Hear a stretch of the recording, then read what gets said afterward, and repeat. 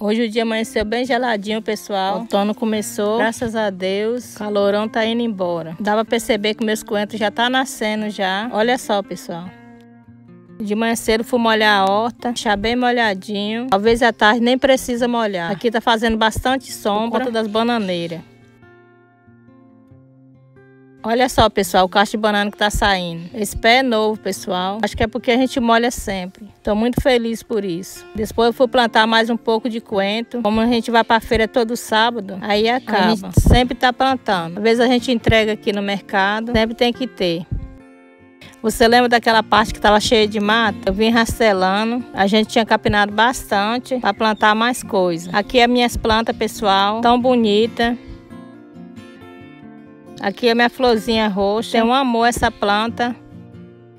Depois eu fui para casa fazer um cuscuz, tomar um cafezinho e descansar para fazer o almoço. Esse foi a minha manhã. Espero que vocês tenham gostado. Fica todos com Deus e até o próximo vídeo.